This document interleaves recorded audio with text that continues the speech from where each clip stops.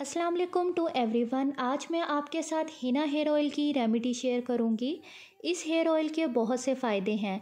जिन लोगों को बालों में वाइट हेयर की प्रॉब्लम है तो ये तेल उनकी इस शिकायत को दूर करेगा और साथ साथ आपके बालों को मोटा और मज़बूत भी बनाएगा। इसके लिए आपको दो चीज़ें चाहिए हैं, मस्टर्ड ऑयल और मेहंदी के पत्ते। तो यहाँ पर मैंने मस्टर्ड ऑयल यानी सरसों का तेल एक कप लिया है और चंद मेहंदी के पत्ते लूँगी इस तेल को बनाने का तरीका बहुत ही सिंपल है चलिए देखते हैं बनाने कैसे है